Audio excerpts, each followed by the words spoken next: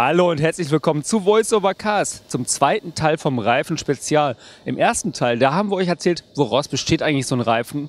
Und heute zeigen wir euch, wie wird der Reifen hergestellt. Da ich da persönlich gar keine Ahnung von habe, habe ich mir wieder ein paar Experten vor die Kamera geholt. Wir befinden uns nun im Werk und ich kann euch sagen, so eine Reifenherstellung ist ein richtig komplexes Thema. Deswegen werden wir nur die wichtigsten Schritte kurz beleuchten. Hier stehen wir an der Abwickelstation vom Textilkottkalender.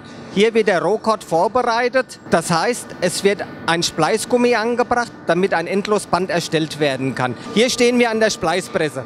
Hier wird Ballenanfang und Ballenende zusammengespleißt. Das heißt, unter der Spleißpresse, die mit 190 Grad und 200 Bar zusammenfährt, wird durch, diesen, durch den Spleißgummi das Material zusammengefügt zu einem Endlosband. Hier sehen wir den Speicher der Anlage. Dieser wird gefüllt, damit während des Spleißvorgangs der Kalander nicht abgestellt werden muss. Das heißt, während des Spleißvorgangs holt der Kalander sich das Material aus dem Speicher. Das hier ist der Triokanter. Dieser wird benötigt, um die vorgeschriebene Breite einzustellen.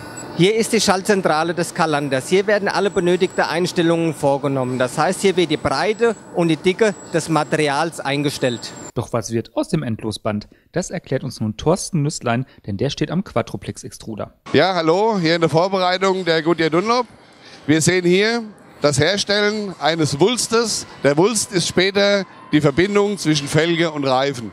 Als nächster Schritt ist das Schneiden der Lage. Es ist das Innenleben der Karkasse.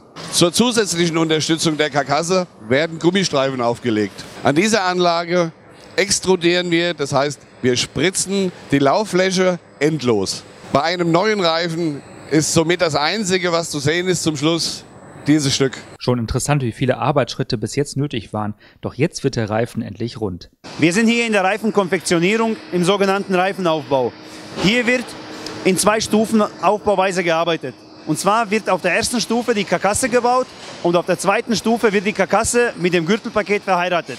Das Gürtelpaket wird aus verschiedenen Schichten Stahlkord, Spiral Overlay und Protektor zusammengesetzt. Und jetzt wird endlich ein richtiger Reifen daraus. Jetzt sind wir in der Reifenvulkanisation. Hier wird der aufgebaute Reifenrolling zu einem Reifen vulkanisiert unter Einfluss von den physikalischen Größen Zeit, Druck und Temperatur.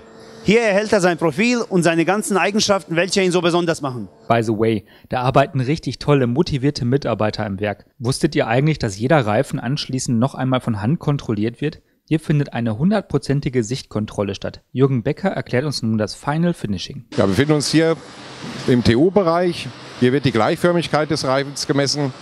Gleichförmigkeit des Reifens bedeutet, dass das Auto letztendlich durch den Reifen nicht nach links bzw. nach rechts fährt, driftet, beziehungsweise auch, dass das Lenkrad nicht anfängt zu wackeln.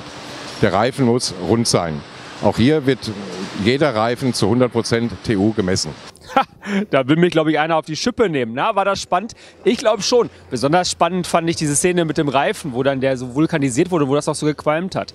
Beim nächsten Mal, da wird es nicht qualmen, aber da wird es richtig spannend, denn dann zeigt euch ein Testfahrer von Dunlop Goodyear, wie man so einen Reifen richtig testet. Und wenn euch das interessiert, dann schaltet beim nächsten Mal wieder ein, wenn es heißt Voice Overcast. Bis dann, euer Jens. Ciao. Voice over Cars. Und das war's.